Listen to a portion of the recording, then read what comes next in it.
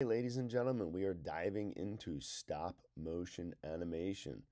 We've had a les lesson in class on the way we're going to design our project. We've also learned the different techniques and methods over time that have been used to create stop motion animation. It's a great technique to create a little motion in your designs to get your customers excited about what you're working on. So for this tutorial, I've selected to use an image that I've sourced from the internet. Some of you are going to paint your images. Some of you are going to design, use some photography, use some camera, use some still frames. You might even use clay. But for this, I'm going to use a stock photo. So first I'm going to make sure I open Photoshop. I open my file. I'm going to go where I have it stored, which is on my hard drive. You guys will have yours in the same place. Look at my drive. I'm going to go to where I store all my files and you'll see I've created a folder, stop motion. Now, I have a file that I found that I can use for this exercise. Now, the most important part to begin this properly is to realize that we need to fill an aspect ratio, which is the size of our movie screen. So we need to know that. we're going to have to select our canvas. We're going to have to click into image size. We're going to have to look at the parameters of our file. We need to have a 16 by 9 inch file. We need 16 inches wide by 9 inches tall. That is the aspect ratio for this project. Now, we want high res files. This is a download from the internet, so it's not going to be any higher than 72 dpi. As long as we feel that this is a crisp, clean, and the best clarity that we can get, that will be fine. The rest of you, I want to see this. 300 ppi. All good quality artwork. So I'm going to convert this. Even though it's not going to make a big change, I still want to work from a high-res file. Click OK. You'll see how big the file gets. Now, we didn't change the clarity. We didn't change how well it looks. We just made it high res. We, as we know, we spoke about this in class. This is this is kind of cheating, but I want you to all get in the habit of working in high res files. If you're painting, start high res. If you're photographing, start high res. I cannot say it anymore. Now, let's just say that our picture off of the internet was not the appropriate size. We need to change that. We are going to go to canvas size. As you see now, this tells you how you want to extend or decrease the size of your canvas. You can tell that it's already shrunk down to 10 inches. We're going to make it 16. We are not going to change the height all we're going to do is tell the computer where our image lies. I want to keep this centered. Click OK. And now you can see my canvas comes back to full size. Image, canvas size, 16 inches, centered, OK. So, Moving on.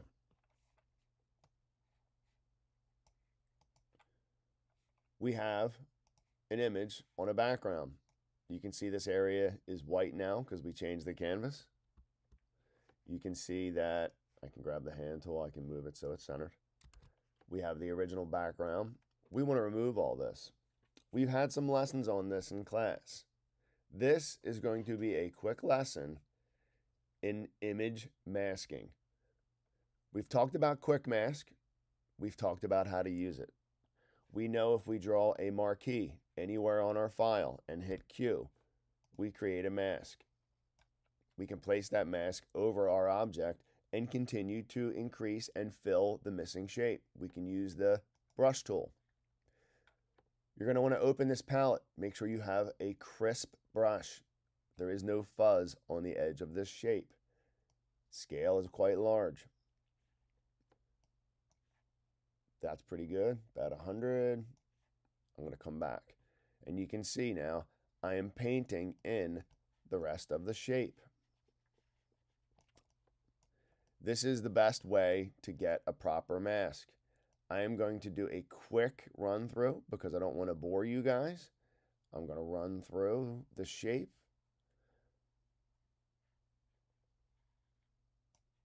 I'm going to turn off my layer. We're going to look at our channels and we're going to notice that this shape has quite a lot of areas that need to be filled. We can increase our brush click off the canvas. Now we have a nice big brush. We know we can go in and fill that. We don't always have to look at the image if we're just doing a black and white mask correction. Then we can turn over on our channels. We can turn them back on and we can see. This is one way. Q releases.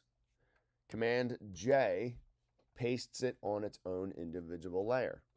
Now that is not a very clever mask. But for all intents and purposes, it is showing you one way to get the fish from the ground. You're going to do it better. You're going to tweak it. You're going to go into, I'll zoom in, all these little areas and get it clean. Now, we also at one point this year talked about a tool from the internet that removes backgrounds. It is a little clunky. Now in Photoshop, we have a better tool. We have what's called Select Color Range. Now, color range has an eyedropper. I set my fuzziness to zero because I don't want anything selected when I start. I click on the white shape it is basically a modified quick mask, but it selects by color. Now, I have both white sides selected. It selects everything in that color. Now, if I click the black, you'll see it also will select one color at a time and get pretty close to that edge.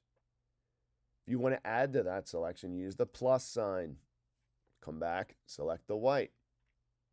Now we have the white and the black, and none of the fish. This is where it gets tough. I'm going to zoom in because we want to click in these black areas and get closer to the shape. Carefully, because you will start to see that objects inside your shape get selected. I try to get as perfect as I can because you already see it's coming into the shape. If you're happy with that, click OK. You want to view full screen. Realize your quick mask is the negative because we're trying to get rid of the simple colors, which were in the background in this case. We need to go in, out. We're going to go under the select menu and we are going to modify our selection. We are going to invert our selection. So actually, we're going to go select inverse. Hit Q again. There's your fish. Much cleaner. Much, much cleaner. Let's turn off our object and see our quick mask. Hmm, there are some holes. Let's get our paintbrush. Nice big paintbrush and clean that up. Again, I am doing this fast. I'm doing this in order to show you this is not the way I want you to do it. I want you to go in. I want you to tweak all these little areas. I don't want you missing any of the fin or on your shape. It could be person's leg or an arm. I want you to do a better job than this. This is for exercise purposes. Back to seeing our RGB. Release quick mask. Command J remove or throw away our background, zoom out, and now you see you have a floating fish. You need to have this transparency in order to create a stop motion video. You want your fish to animate without any background. You might ask this question, Mr. Anderson, why are we in RGB mode? Well, let me tell you. It's because we're creating a video. If we were printing this, we would be working in CMYK. But because we are working on a video, we are going to stay in RGB color mode. We are just going to make sure we maintain a high res file. Now that is step number one. We now have an image that we can use to animate throughout our movie. But in order to do that, we have to create the still frames that create the stopping point and the starting point and the ending point. So, if this is our aspect ratio, if this is the size of our screen, our fish is a little large. Now you remember, we want to transform our objects using the transform tool, which is under the edit menu, transform, scale, rotate, distort, skew, perspective, or the simple command T. Photoshop holds your proportions so you don't have to hold shift. Shrink your object to a desired scale and create what you would consider the beginning or start frame of your stop motion exercise. I am going to have my object move, or my fish, from left to right, or I'm sorry, from right to left. It's actually going to come across the screen. Deselect, there you go. Now, if you were to move this off the page and select it, and well, you'll see it, Command All, and then move, you just cut it in half and lost your shape. Let's not do that. Command undo, command undo, command undo. I want my fish back. Drag your layer to the plus symbol. Make a backup. Turn it off. That way you're guaranteed. Now, based on this lesson, we spoke about needing approximately 15 to 25 frames to create a 30 second movie. Now, those frames might have to repeat in unison three to five to 10 times in order to fill that time frame. One frame is a split second. One second is a long time to stare at a single frame. So you will maybe get three seconds out of your 25 images if you're going to create a smooth transition. Pick a starting point. I want my fish basically off the canvas to start. Now, my first frame, I'm going to see just his nose and eye. What I need to do at this stage is create a bank of files. And we're going to label them in order, one through our final number. So I'm going to use the file save. Well, let's do it this way. We're going to do the export as PNG. So we're going to use the export function. We're going to format the file as a PNG. We are going to make sure it stays transparent. We are not going to change the image size. It shows in pixels, it's fine. The scale is going to remain 100%. All of the other information is fine. Just remember transparency. Export, it's going to ask you a name. I am going to save it to my desktop in order just to show you. I could create a new folder I could call it stop motion sequence.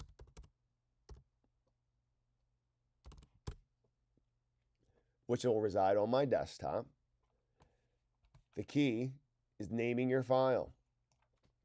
.png must remain. Do not change the file extension. We are going to call this fish one and save. There you go. It is now saved because you saved as as an export into your data bank. Come back, move your fish again, equal increments, up and down. File, Save As. You're going to find that folder on your desktop, stop motion sequence. You're going to click on the last name, which is, I spelled it wrong, Fitch 1. We realize we did save as. Guess what? You can't do the PNG from here. Hit cancel. File, export, export as, PNG transparent, export. Click on your Fitch 1, change it to 2. There you go. You're going to do this for save as 3, save as 4, save as 5, save as 6, save as 7, save as 8. Now you can see I'm moving it down, but now I'm going to do 8, 9, 10, 11, 12, 13, 14, 15, 16, 17, 18, 19, 20, 21, 22, 23, 24, 25, 26, 27, and 28's off the page. You're going to save in sequence this many files. And I will show you what this looks like. My original beta 1 PNG. Now watch as I click down, down, down, down, down, down, down, down, down, down. They'll get my files moving. Now mine are moving back and forth because I had mine doing a little bit of a dance. 17 frames. I'll go backwards. You can see him now walking backwards, frame by frame. That is what you were going to use to prepare your stop motion images for use in iPhoto. Sorry, iMovie. Thank you guys. Have fun, good luck, and I'll see you in our next video as we go into iMovie.